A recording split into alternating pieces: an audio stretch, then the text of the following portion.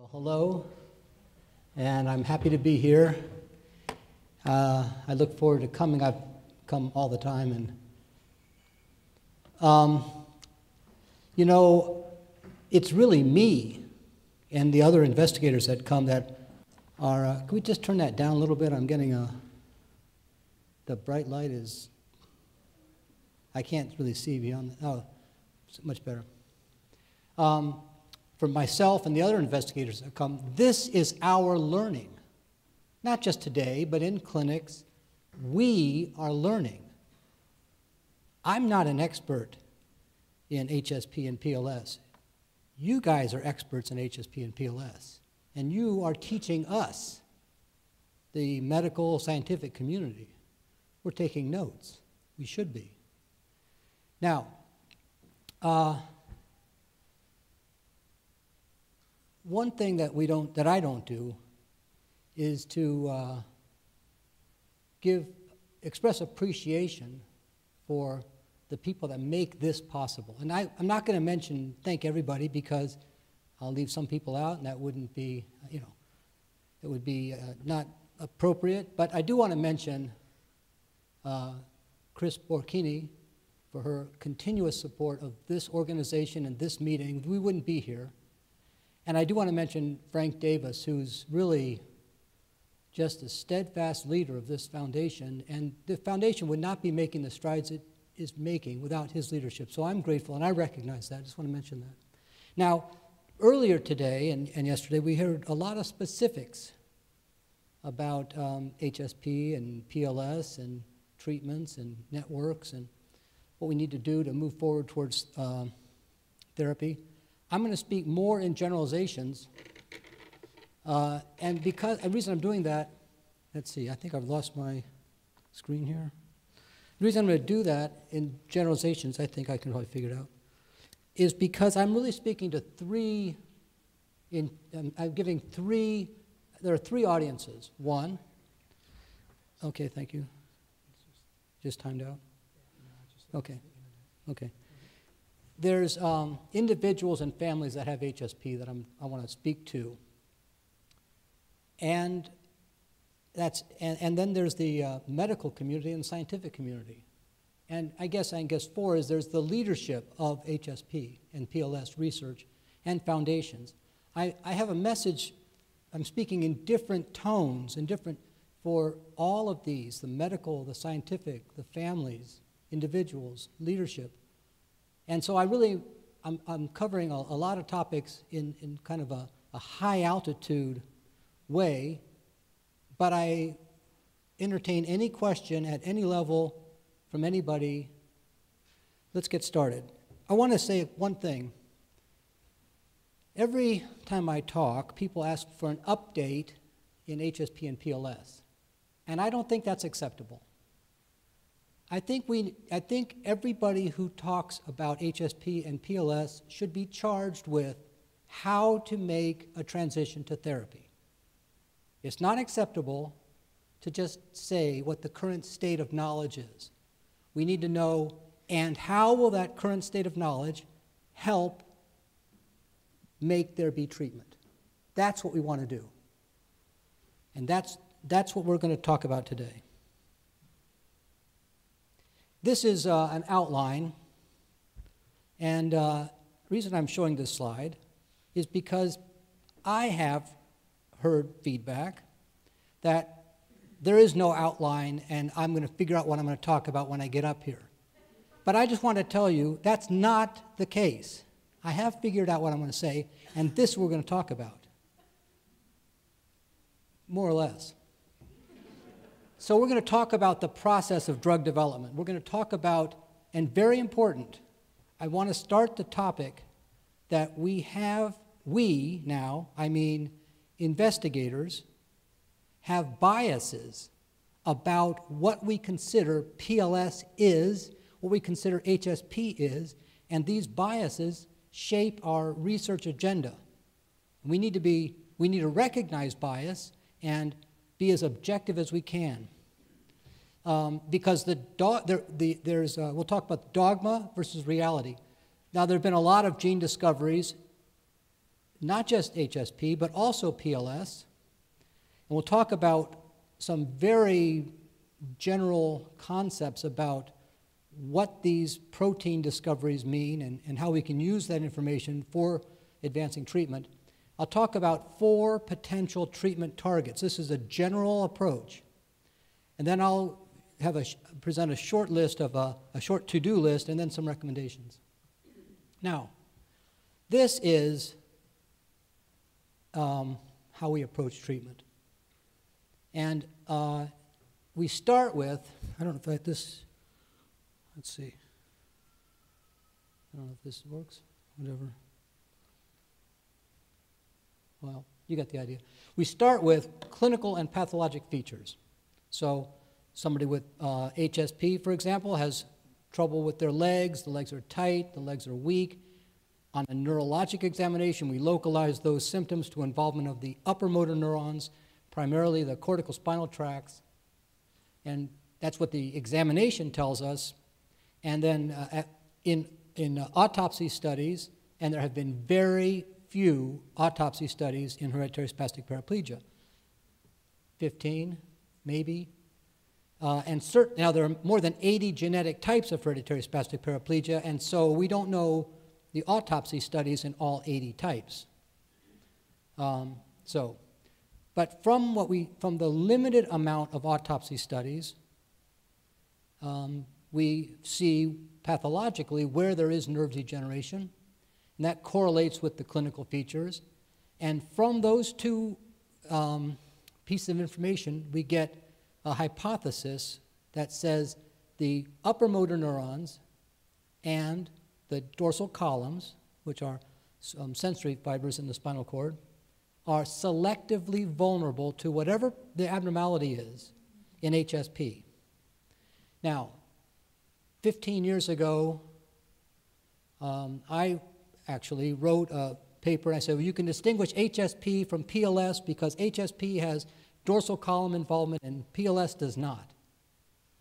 And uh, we can prove that or show that by uh, looking at somatosensory evoked potentials that measure dorsal column function and they're abnormal in HSP, but they're not abnormal in PLS. Well, that's not true. I mean, that lasted, that, that proclamation, that dogma then lasted about 18 months until somebody said, no, many people with PLS have dorsal column involvement clinically, uh, on exam, or with somatosensory evoked potential testing, uh, so uh, the point is, is that, um, but whether it's upper motor neurons exclusively or primarily, or upper motor neurons and dorsal columns, we have the concept of selective neuron vulnerability. Not all, the entire spinal cord is not degenerating. It's selective nerves within the spinal cord. Selective neuron vulnerability. And from this, originated the concept that it was the ends of the long nerves, the long motor nerves, the long sensory nerves, that made that particularly degenerated. All right, I'm just going through this. This is now we're at selective neuron vulnerability. So we start to think, what is unique about these nerves? Well, they're long. So what what what uh, what what um, unique physiology or molecular functions or cellular processes would make long nerves vulnerable and short nerves not vulnerable. And we started thinking, oh, well, what about axon transport? And start fast axon transport and things that are, need to maintain the health and longevity. These are nerves that are, you know, uh, quite long, going from the brain down to the bottom of the spinal cord. They are formed in utero. They grow out to the, uh, through the spinal cord, and they don't replace themselves. So they're there for life. And, and what would make them vulnerable? What, what, the only thing we, would, we stopped our thinking at was they're long. That's about as far as we went with that concept. I'm saying we, I mean the research community. We said, well, they're long. Yeah, you know, we really haven't progressed much beyond that 1968 concept that they're long. But, you know, there's a lot of other differences in their physiology and their neurochemistry but we haven't yet incorporated all of that last 40 years of neuroscience into the biology of those neurons, which the, the biology of those neurons has advanced, but we haven't taken advantage yet of all that information about the, their biology except their length. So we say, well, it's something about them, them being long. Yeah, I think we need to move beyond that. But so when we start talking about selective neural, uh, neuron vulnerability, we start to postulate mechanisms or, or attributes of these nerves that are selectively vulnerable. We say, well, their length is one, for example. We start to postulate molecular mechanisms. I mentioned one, axon transport, but there are many others. Now, then we take gene discovery. And this has exploded, and it continues to explode. I mean, I made a list two weeks ago of 60 genes for HSP, and it's already out of date. Um, so I know we're at least 61. Um, so, a lot of genes. Gene discoveries tell us a lot of things, but it tells us 60 plus, and in the case of uh, PLS, half a dozen, seven, eight genes, molecular pathways that, if they're disturbed, these selective neurons degenerate in a particular way. It lets us develop animal models, and from this we can start to, we have the resources, the animal models and the cell culture models, the in vitro models. We have the resources and we have the ideas to start developing treatments. Okay, now, I've pre presented this slide before here, but I want to emphasize one difference in this slide, and that is this is not the only way to establish treatment. This is now, we, this is this is a mechanistic approach. This is an approach to treatment based on understanding the molecular pathophysiology. But this is not the only way to establish treatment. So, this has been what we presented as here is how we're going to march towards treatment. But let's be clear this is not the only way to establish treatment. There are other paths to treatment. Now, I list here um, the mechanistic one that I just discussed, and that's worked very well. You know, when you, when you figure out how to stop HIV, AIDS virus, well, it needs to replicate, it needs a receptor to get into the cells and so forth. You understand molecularly, mechanistically, what it needs to enter the cell and how it replicates itself. You can develop drugs based on those mechanisms to antagonize those mechanisms. That's worked very well. When Parkinson's disease, when it became apparent that um, there was a, a, dopamine deficiency. The concept was let's replace dopamine. That's worked very well for symptomatic treatment of Parkinson's, not to stop the ongoing degeneration. So forth. Antibiotics development. So it's largely on a, um, well, it has become largely on mechanistic. So cancer treatments, largely mechanistically driven, very successful. Okay, but there are other ways. Let's talk about serendipitous drug discovery. Okay, I'm not going to ask for a show of hands about people taking antidepressants, too much information, but antidepressants are one of the most widely prescribed medicines uh, after Tylenol in the United States and, uh, and, and Lipitor. But um, antidepressants, the first generation antidepressants, were discovered completely by accident. This is uh, people in, um, in, uh, chronic, in institutions uh, um, who had, um, were being treated for uh, tuberculosis. And the drug that was used seemed to produce euphoria. It was being used for tuberculosis as an antibiotic, and it was observed to produce euphoria. This is in the 50s. So people observed it and they said, well, what if we gave that euphoria producing drug to people who had depression?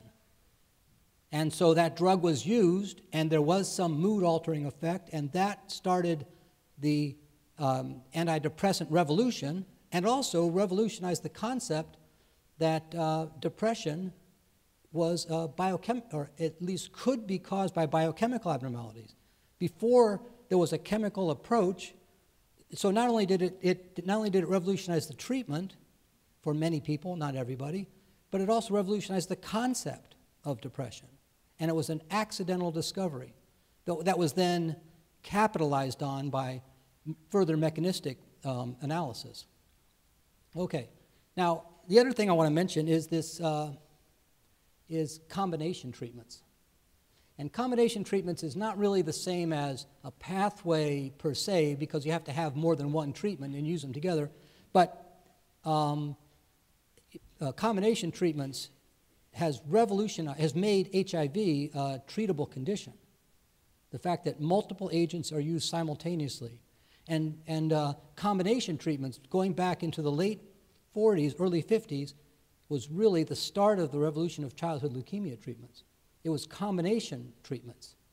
So uh, we, we, we do not want to minimize that and uh, that important aspect that medicines may need to be used or other treatments, whether it's medicines and gene therapy or medicines and physical therapy or whatever our imagination takes us, the treatments may need to be done in combination to get maximal effect. Okay, now, what about empiric trials of repurposing treatment. Well, we've already been doing that with Ampyra. You know, Ampyra prescribed, as we heard about earlier uh, this afternoon, uh, um, we've been prescribing Ampyra. Uh, many people throughout the world and the country have been prescribing Ampyra for people with HSP and PLS. And, uh, you know, once in a while it helps. Mostly it, it, mostly there's very little benefit, if any, but occasionally there's somebody who benefits, and it's worthwhile trying sometimes. Uh, but the point is, um, we need to uh, embrace empiric the, the empiric trials of repurposing medications, medicines that seem to help spinal cord injury, medicines that seem to help Parkinson's. I'm just mentioning, I don't, I'm not not based on our mech, not based on necessarily based on mechanistic insights.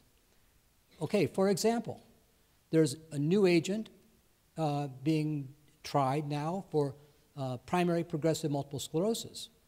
Would that be useful? Um, I just lost my thing again, but let's see if I can get it back. Don't, I, I'm, I'm a professional, I can do this. Maybe not. Don't panic.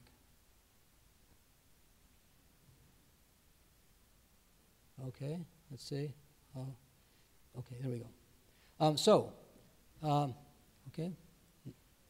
Um, all right, so would that medicine that's being tried now in primary progressive MS uh, be useful in, in uh, primary lateral sclerosis? Well, initially we'd say, oh, well, PLS, um, uh, multiple sclerosis is an immune mediated or process and PLS is not. And so uh, we would we would not include it on a theoretical mechanistic basis. Um, I'm not sure that we want to do that. I don't know that we know enough about the, the pathophysiologic mechanisms of PLS to, to say a priori this medicine has no benefit. Now, we would consider the likelihood of benefit versus the possibility of risk, and there, some medicines may be extremely risky and of low probable benefit, and so we might want to hold them off until the risk profile was more permissive. I'm not, I'm not arguing for this particular medicine. I'm just saying, in general terms, we need to think about um, repurposing medicines. Uh, examples um, anticonvulsants are widely used to treat uh, migraine, and they're widely used to treat, um, some are widely used to treat uh, chronic pain or tremor or bipolar disease. These are anti epileptic medicines. And why are we using them? Because they work. Not because they are, uh, because we think that uh, um, there's a strong mechanistic, molecular uh, similarity. There might have been some theoretical similarity, but they're largely used because they seem, they're not outstanding in their uh, efficacy, but they do offer many hundreds of thousands of people benefit. Now, what about crowdsourced trials? What do I mean by that? The, uh, this is something that I, I, think we need to start moving in this direction. And that is the, you know, it's particular for PLS. PLS is more rare, obviously. We heard about the numbers, estimated 1,000 people in the country. Um, uh, so the, the challenges are greater for PLS. Now, let's talk about childhood leukemia. there are many different types of childhood leukemia. Some of them are extremely rare. And in, in general, for some types of leukemia or lymphoma, a, a clinician may only see one or two eh, children, for example, with that type of leukemia in their professional career. So some types of leukemia are extremely rare. Now, how yet the treatment of childhood leukemia has been transformed from previously largely almost universally fatal to now very high rates of cure, exceeding 70%. And how do you treat a condition in which each, basically, each person is, has it their own condition and is extremely rare? Well, they have, uh, this is my term, the crowdsourced trials. I don't know what term they use, but they employed a, a way that every treating uh, hematolo- uh, pediatric hematology oncologist could report the trial and the medication combination that they were using in their office. And this all became centralized and reported at meetings. And there were standard reporting, um, relatively standardized reporting and analysis and, and so forth. And so somebody in Manitoba would ha have a trial, and somebody in Paris would treat a patient, and somebody around the world, San Diego, you get the idea. And this information was collected. This is before the internet. Okay, well, we need to do this too. Because anybody who's treating primary lateral sclerosis, we need to say, what's working in, in your patient? What are the attributes in this individual? What kind, does it really PLS? What criteria do they have? We need to have standardized analysis, standardized reporting, and standardized and, and centralized data collection. Preserving anonymity, and we got to work out the details. But this is a, what we call a crowdsourced trial. These are these are empiric trials occurring in treating physicians' offices. They're, it's not a trial in the sense it's an experiment. It's reporting anecdotal, collective anecdotal experience. And then this can be taken forward as a, as a blinded trial or in a formal trial mechanism. Okay, so now, which approach should we use? Which one of these? Should we do the mechanistic one only? The old school, find the molecular problem, fix the molecular problem? What should we do? Should we follow the, uh, just wait for some happy accident uh, in the discovery? This is that, uh, uh this uh, review of the uh, serendipitous discovery of antidepressants. Well, I think we need to look at every treatment strategy together. I think we need, whatever is possible, we need to pursue.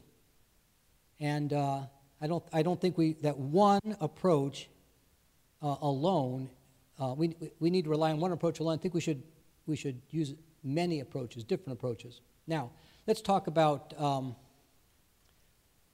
the biases that, uh, we, that investigators bring to research. And the point is, is that historical generalizations about HSP and, HSP and PLS mechanisms became a dogma, and some of this dogma, and this dogma definitely in, uh, uh, directs research hypotheses, and some of this dogma is false. Okay? Now, I'm not speaking just to people here, I'm speaking to investigators.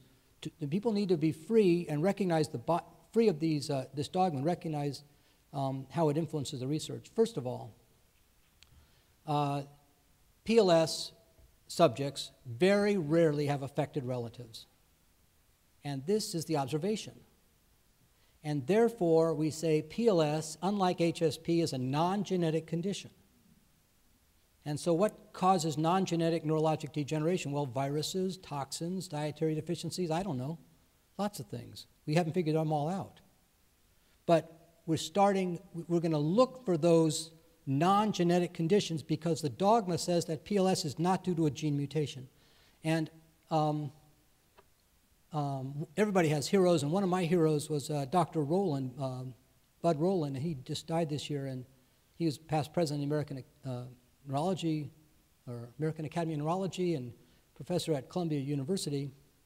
And I met with him at a PLS meeting in um, California that um, uh, Craig and Linda Ventner, uh, Gentner um, uh, established. And uh, he asked me, he said, Well, if you discover a gene mutation in PLS, that means it's a genetic condition. And I said, Yeah. And that means that it's going to be a form of HSP at that point, because we have the concept that if it's a gene caused problem, we, we had the concept at that point that PLS is a non genetic condition. And so if we find a gene in PLS, that means that that person actually has HSP.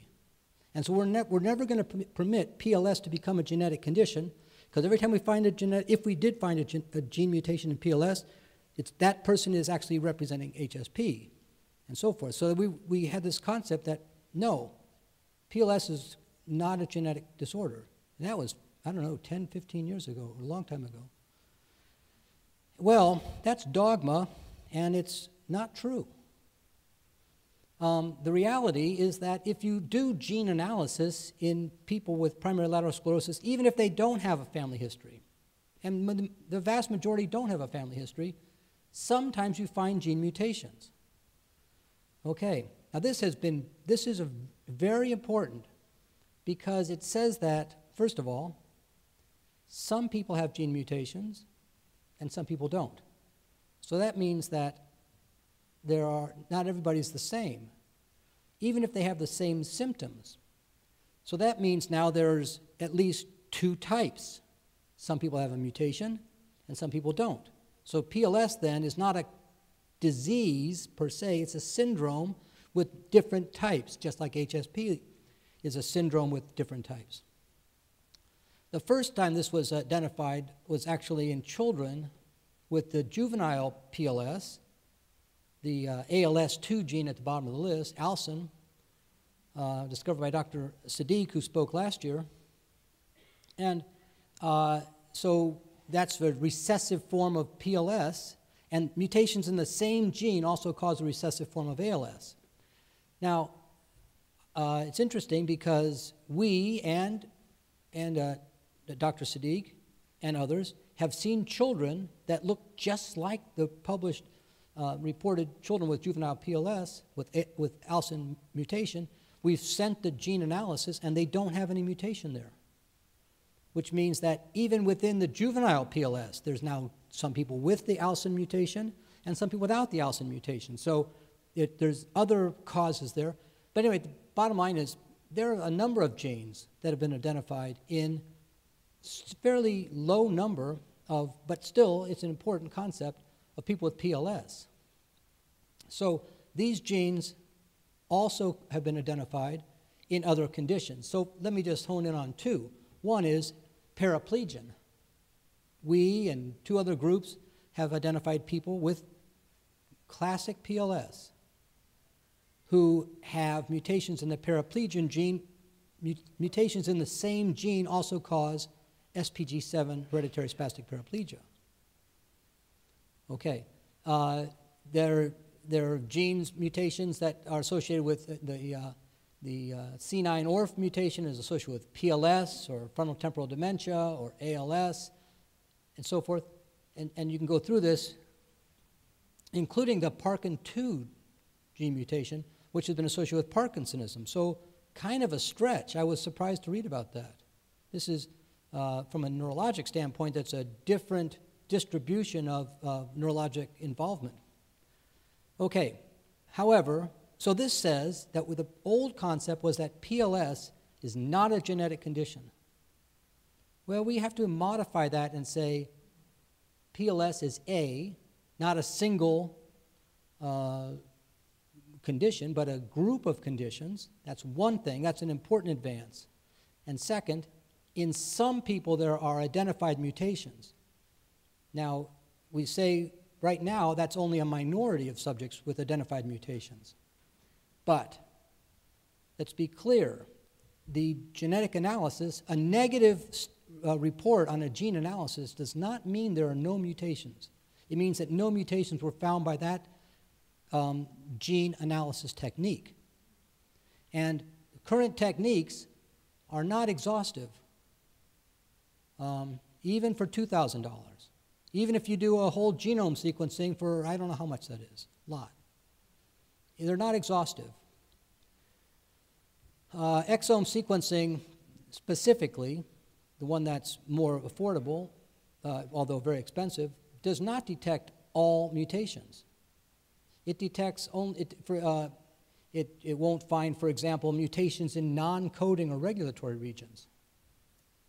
And we know of many genetic diseases that where the mutation occurs in a non coding or regulatory region, but most of the commonly used uh, exome sequencing techniques do not find those type of mutations. So um, we, if we looked at um, a spastic paraplegia panel of 60 or 70 genes and found no mutations, it would not exclude a mutation in a gene known to cause the disease that affected the regulation of that gene. Okay. And what, what we mean is this. Let's imagine if you have a, an orchestra of 100 instruments.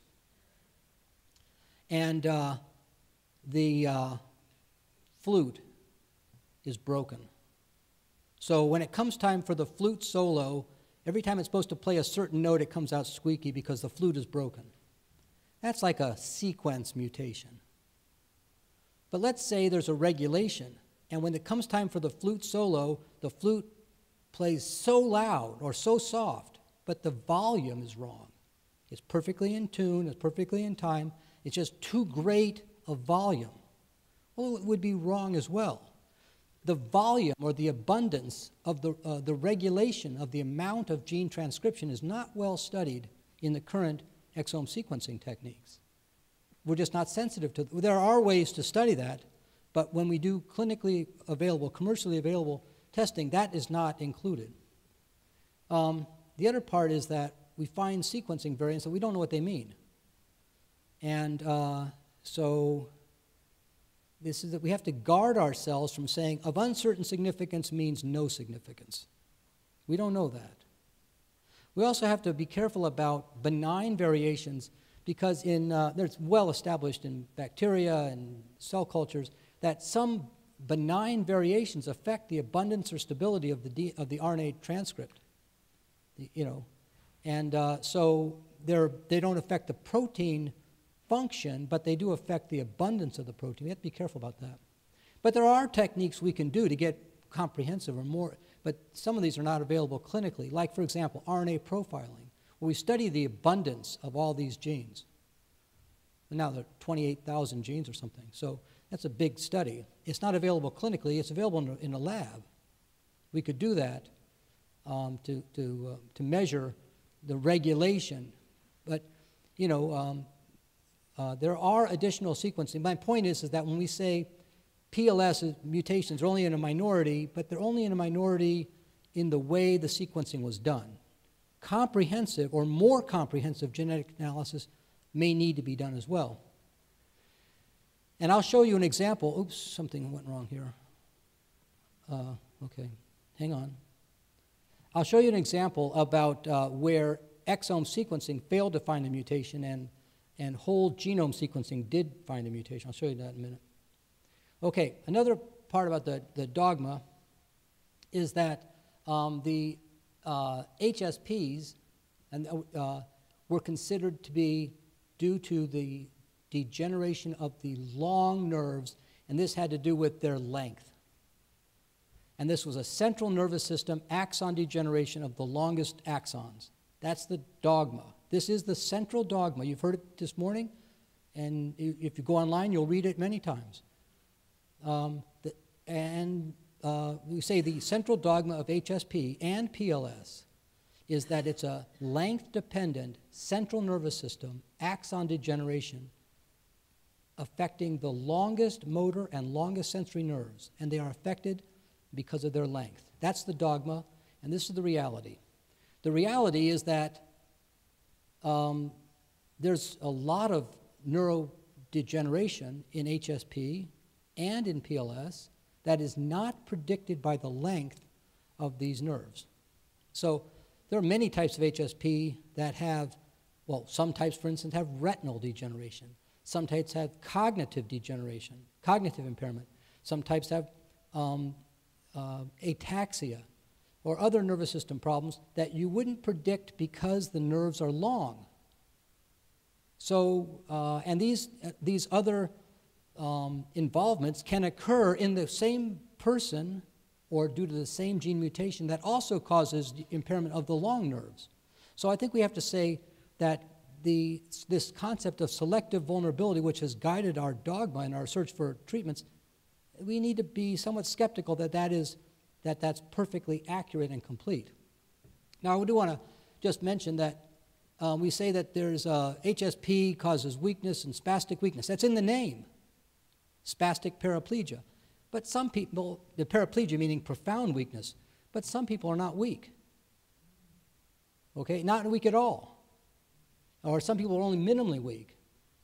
Uh, and occasionally, I've seen two people with this in the past few months, children, um, who don't have spasticity, well established HSP mutations, known to be pathogenic, who are floppy. So the concept um, that HSP always causes weakness, that's not true. Sometimes it, I mean, it often causes weakness. I want to, I don't want to escape that. Often causes, usually causes some weakness, but not always. Usually causes some spasticity, but not always. And some people only have or mainly have spasticity when they're moving. And we talked about this the other day. Um, but we've seen this in a, that is, when you examine someone at the bedside and move their legs around, there may be minimal spasticity, but they get up to walk. It looks like a lot of spasticity, but we can't really measure yet, haven't figured out how to measure spasticity when someone's moving. And in neurology terms, we would think that exertion dependent increased muscle tone, that's a extrapyramidal Parkinson's dystonia problem, but um, that spasticity is usually not exertionally dependent increased muscle tone. So we have, we have to re reconsider um, the, all of the, uh, what we uh, imagine the uh, neurologic basis of this increased muscle tone that's act only with activation of the movement. Okay, now, um, the other part is HSP is not always a degenerative condition.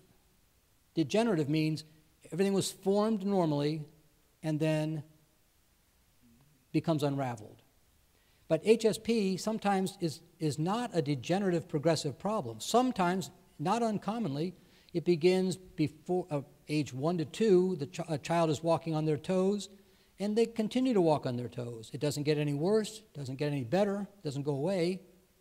Um, it looks like cerebral palsy, and there are a number of childhood onset forms that look like that, that are non progressive, and we think are developmental, not degenerative processes. So if we say HSP is a progressive degenerative process, well, we got to hold on. We got to say often, but not always. Okay. Um, and uh, so I just want to mention one other part, two other parts is that HSP very often is not limited to the central nervous system. As I say, there are 80 genetic types, and probably 25% of them, or 20 different genetic types or so, have involvement of the peripheral nerves uh, as well. And we have not yet figured out, we have not resolved if HSP in each of these many 80 different types is due to an intrinsic problem of the neuron or of the supporting, nurturing glia.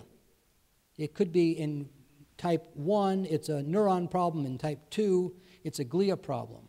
We don't really know yet for every type where the underlying, which cell type ha has the primary problem. I mean, if, it's, if the supporting cell, the glia, the surrounding myelinating cell that surrounds the axon, if that is a problem, then the um, underlying uh, axon or the enwrapped axon could uh, be dysfunctional, and the other way around. An axon problem can cause a myelin problem. Okay, so we're going to just show that this list, and this is, I say, say is 60 genes for HSP, and uh, Dr. Brastad mentioned uh, maternal inheritance, and there's one mitochondrial gene listed here. So there are many dominant genes identified, many genes for dominantly inherited HSP, many genes for recessive HSP, X-linked HSP, and at least one gene for uh, mitochondrial disorder um, that causes a form of HSP. And I circled the one on the bottom, this uh, POLR3A, only to say that it causes a recessive form of HSP, was not picked up on exome sequencing, but was an, uh, an intronic mutation identified by whole exomes, by whole genome sequencing. So when I said before that a negative result on exome sequencing doesn't mean there are no mutations. Well, we know at least one type of HSP was discovered in this way. Okay, now what have we learned?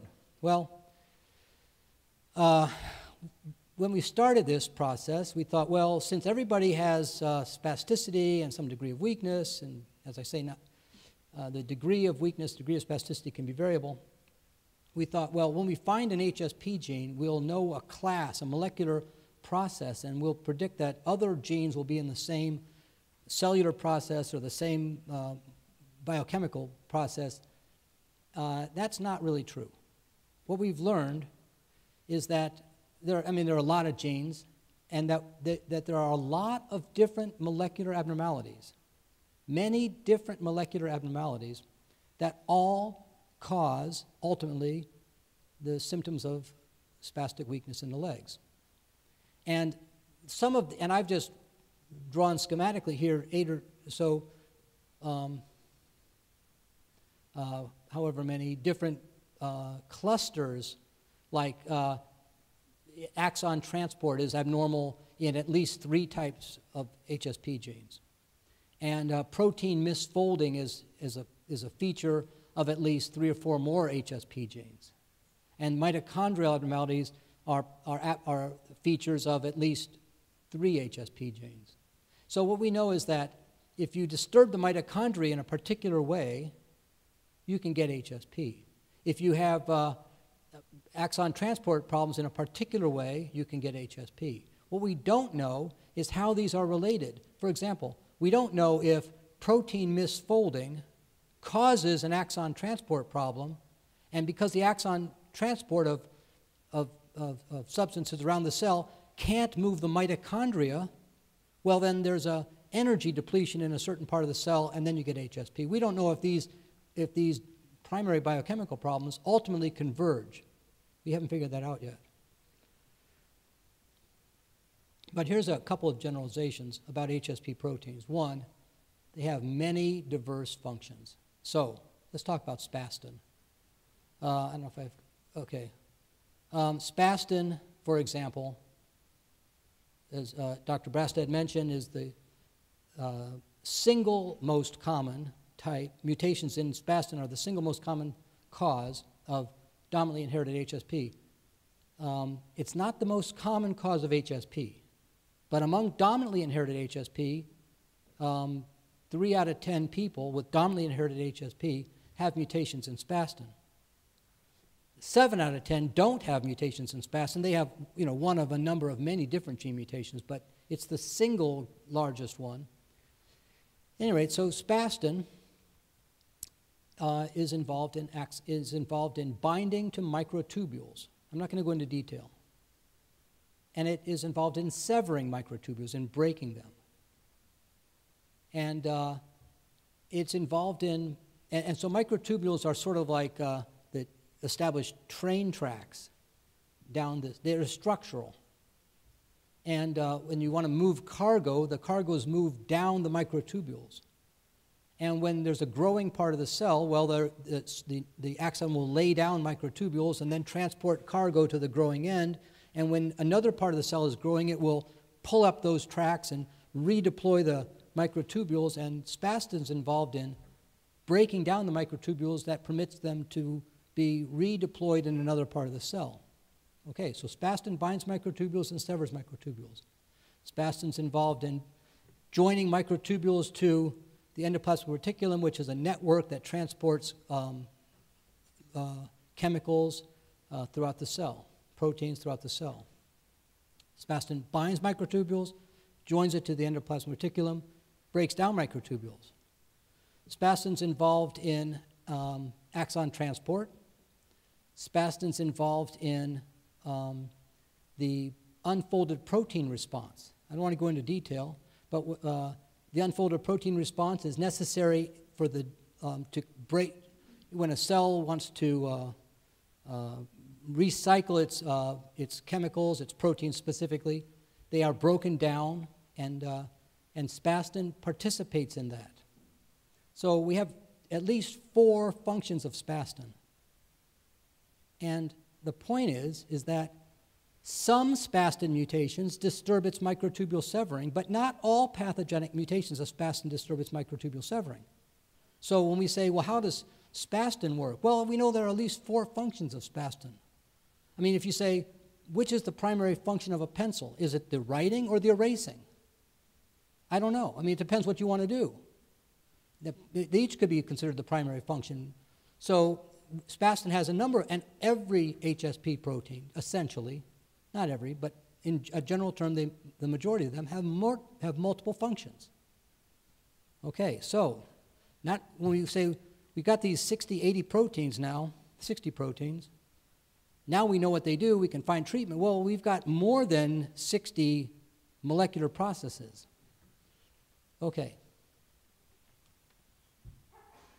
You get all that? Let's talk about potential treatments. Four potential treatment targets. Certainly, we can treat the disease. I mean, these are just broad brushstrokes. I'm not going to lay out a, a research agenda. We can treat the disease process. Okay, so let's say, uh, as I mentioned, the spastin has four functions. Um, it's involved in the unfolded protein response. Let's, di- let's direct treatment that can normalize the unfolded protein response. I understand that I'm not going into, because of time right this minute, into describing the unfolded protein response. Just bear with me. But it's one of spastin's functions, and it's, and, or, or we could talk about uh, this microtubule severing.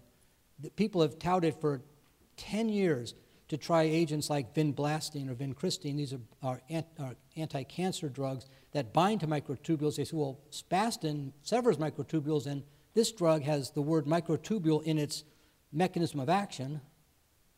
So let's try it. Um, so uh, we, should we target therapies at the specific molecular abnormality that we've learned from the gene identification? That's one target. Okay, which cells should we target this treatment in? All cells? The mutation, after all, is present in all cells. Or should we target it in the cell? Which is it, if it's if it's dysfunctional because it's occurring in neurons, we should target neurons, or should we target glia, or should we target everything? Should we say, well, we don't really know what all of these functions do, but if we put the normal gene in, well, it's going to do all of the functions. So let's not bother with uh, understanding and developing treatments for the 14th uh, function of this identified protein. Let's just put the gene in because it's going to do all of the, the normal protein is going to do all of the functions, right? So the first approach to treatment is to treat the disease process as we've learned from the gene identification. Another process that we is not given that much attention in this audience, but it is around the world, is to treat the degenerative process. By that I mean, if we, ignoring the concept that some forms of HSP are developmental, not degenerative. Oh, geez. Um, maybe they're, I think they're doing that because I'm running over time. Hang on. If we just talk about the degenerative forms of PLS and HSP, what we're talking about, the concept of neurodegeneration, and this would be a, a seminar about neurodegeneration. Um, neurodegeneration is something triggers the cell to degenerate. It could be a toxin, it could be a gene mutation, it could be a trauma, a, defi- a, a vitamin deficiency, whatever. Many different things induce nerve degeneration. One, the, so there are things that induce nerve degeneration. In this case, the initiating factors are gene mutations. Um, and then there, the cell, it, it's not that the cell, the uh, neuron, just falls apart. It's, the cells don't just fall apart, they're taken apart. The, the uh, elements of the cell, the membranes, the proteins, they're all, it's disassembled. They don't just fall apart like a, like a building would fall apart in a, in a hurricane. No, it's that the, the, there's a disassembly process that moves and recycles the protein and lipids as much as can, depending on if the cell is dying or not. But if the cell's not dying, then there's a, a fairly structured um, way that the cell is taken apart. That's what we mean degeneration. Degeneration is a sequence of disassembly. Unless the cell, as I say, is dying, that's another story. Um, but cell death is not a big issue. I mean, is not the primary problem in, in HSP and PLS. There is some, but we're not talking about that. Um, and then there are, so there's things that initiate degeneration, there's things that accomplish degeneration, and then there's the regulation of degeneration. Okay? Now, when we say we're going to treat the degenerative process, we're not going to treat now the underlying molecular problem at, caused by the gene mutation. We're just going to stop the degeneration. That'd be pretty cool, you know? Uh, and there are, there's a, there are a, a, lot, there's a lot of research to, to, that's underway that in animals has been made huge gains. Um, so, uh, that's another target. And the other thing is that if, if, along these lines is maybe we're just going to facilitate nerve transmission of injured nerves, or we're going to facilitate nerve outgrowth of injured nerves. So we're not going to actually stop the degeneration, we're just going to augment recovery, even though we haven't stopped the underlying disease process. That's not also a possibility. And things like Ampyra, that's what it's supposed to do, is to improve the conduction through partially demyelinated fibers. It doesn't stop, it doesn't remyelinate, it doesn't stop the disease process. It just is supposed to facilitate transmission in injured fibers. Okay, what about treating symptoms? Great. Let's do it. What about spasticity? Okay, let's take a look at spasticity. You know, uh, for all of uh, the amount of time we spend talking about spasticity, we don't, I don't know that much about spasticity's biochemistry. It's an intense area of research. We use, uh, you know, baclofen or baclofen pumps or dantrium or tizanidine, Botox, um, the, the, the, there's a rich um, literature evolving research on the biochemistry of spasticity. It has to do with upregulation of various neurotransmitters within the interneurons within the spinal cord following upper motor neuron injury. Upper motor neuron injury causes a change in the neurochemical milieu within the spinal cord, which is, contributes to spasticity. One of the agents, for example, is a serotonin receptor. That's the 5-HT2A um, receptor. And modulating that reduces spasticity. Well, that's a different approach than the um, benzodiazepine approach through baclofen and, and so forth. So we need to, if we're going to treat spasticity as the primary problem, we need to do our homework and learn about um, the um, neurochemical changes caused by, by the upper motor neuron problem. For example, we can't yet stop Parkinson's, but we can replace an important chemical deficiency, L-DOPA. What if there was a similar chemical replacement that stopped the spasticity? It didn't stop the condition, it just treated the spasticity as effectively.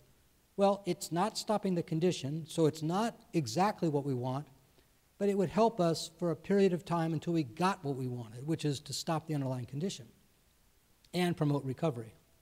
Okay, now, what about weakness? I mean, we could talk about this, but this is really important because um, in, in related conditions, the thing that predicts, the single factor that predicts the ability to walk is not spasticity, but it's hip flexor weakness. And so weakness is really important. And, um, you know, uh, Anita Harding, who was a pioneer, I mean, just want to mention that name because she, she was a, um, a, a, wonderful person um, and a geneticist from England, and she initially divided up HSP into complicated and uncomplicated, and type 1 and type 2. And uh, she wrote that the difference, dif there were major differences within HSP between those people who had major weakness and people who didn't have major weakness. And the ability to walk was retained uh, best in people who didn't have major weakness. And uh, so this goes back into the late 70s. And this is I'm, I'm really impressed by that knowledge back then and taking it very seriously. What causes weakness in HSP? Well, you know, it's upper motor neuron. Okay, that's all good. Yeah, but if you really ask, now I'm talking to the neurologists, but if you really get into it, there's a lot of proximal weakness, which is not so typical um, in, in people that are profoundly weak. Not everybody, but some people have profound weakness and they have a lot of proximal weakness, and that's not the typical distribution of, uh, of a pure upper motor neuron lesion, which raises the possibility that there is more involvement, such as anterior horn cells, which are sometimes involved in HSP, and interneurons, which haven't been studied well in HSP. I think we need to take a look at the weakness because for, for some people, weakness is the major problem, and right now the best thing we can say is resistance exercises. Okay, now, what about, um, what about this concept of neuroplasticity? When I watch somebody walk, when anybody watches somebody walk, we're watching, or any, we're watching the consequences of the, of the disorder. We're seeing how the disorder has affected the nervous system. And simultaneously, we're seeing how the nervous system is compensating. As soon as there's nerve degeneration, there's, the nervous system is compensating the, to the best extent possible. We don't think in HSP and PLS that compensation is primarily um, broken. And, and some of the evidence is that people that have HSP and PLS who then have a stroke or other injury don't have different outcomes. This is just anecdotal observation. Don't have a more profound or prolonged, they have the same type of course, including recovery, from other neurotrauma or stroke specifically. And so, in general, we think that the ability to compensate for the nervous system to modify itself in the presence of ongoing impairment, we think that that is happening in HSP and PLS. So the moment that the instant we, we conceptualize, the instant that the degeneration starts, well, the other neurons perceive there's a problem and start compensating. That's what they do. That's what neurons, how they behave. This, we know this happens in animal models, in mice and in cats, that when you make a lesion of the upper motor neurons, you induce neuroplastic or compensatory changes of the downstream neurons. Uh, and we, so these are studies that have been shown in animals and, we, uh, and, and in humans to some extent, not experimentally. So, um, it, very important. Okay, got it. Uh, they're telling me I have just about one minute to go. Okay. So, uh, if we could understand this process, this compensation that the body is doing, maybe we could augment it as a way of slowing down the, the, the condition or stopping the condition at an early stage. Okay. Now, I move past this, we, these are my to do list. I think we need better animal models, natural history studies, and so forth. I'm going to skip past this in the interest of time. I've shown this slide before, but maybe not to everybody here. What's wrong with this calf? The calf's alive.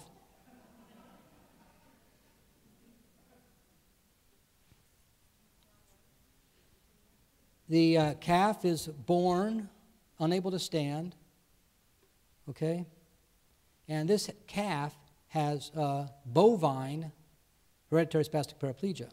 This is a, a naturally occurring condition in the American brown Swiss, in a, in a strain of American brown Swiss. This is a genetic mutation in the cattle, in the bovine, spastin gene. Okay? Now, I'm showing this for a couple reasons. One, um, in, um, this is a great animal model to be tested. Mice are not so good, in my opinion. Rats, mice. I mean, they all have limitations. They all have a value and they have limitations. But this is a large, a large vertebrate animal that is suitable for gene therapy studies or stem cell studies or so forth. The other point to make, besides that it's a good animal model, uh, I guess, is that it's extremely expensive. The reason we haven't started studies, gene therapy trials in these cattle, is just the cost, not the lack of technology, not lack of access to the animals, just it's too expensive. Um, and the third point is that in, in cattle, this is a demyelinating disorder. In humans, it's an axon disorder. So the point I'm making is when you look at animal models, animal, every animal model has to be judged on the, to the extent that it validly reflects the human condition. And in cattle, this is a demyelinating disorder. In humans, it's an axon di disorder. So if we, if we say, well, mice behave a certain way, we have to wonder, do the, are the mice a valid model of the human condition? I'm just using this as an example.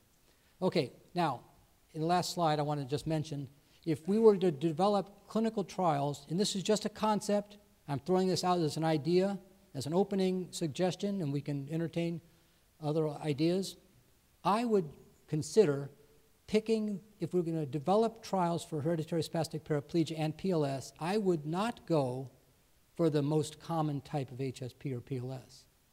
I would go for the one that's most amenable to study, and however rare it is. And the criteria I would use is that there are known biomarkers. Pick a type of HSP and PLS or PLS that has known biomarkers. Pick a type that there's a really good animal model. Hopefully, there's multiple, more than one animal model um, to compare between them. Pick a type in which there's robust cell models, cell culture models. And pick a type for which there are already FDA approved therapies that look promising for that type. If you find if this is what you want to, if we're going to try treatment, we should go for the low hanging fruit of the treatment types because we want to develop, as I say in the top part here, sustainable research. Sustainable research means you get a project, you get it off the ground, you get another grant, it gets funded, you expand your research, you get another grant. That's what it means sustainable research. Not that it was a great idea and the project worked, but it was too expensive and you couldn't keep continuous funding for it. That's not sustained. So we want to get, we want to take a, we want to get success in a test case and use that as leverage for other types of HSP. So part of this is a scientific approach, and part of this is a political funding uh, approach. I'm putting the two together to go for a type of HSP that might have the greatest chance of developing sustainable funding that would allow other types of HSP to be tested in time. Some of the more complex types, which are some of the more common types. So there are a number of types, adrenomyeloneuropathy, SPG5, perhaps SPG78, SPG47. These are types that have fairly well-defined or emerging biomarkers. And that's why I picked them. But there are others, and this is just discussion. Okay. Great. Thank you.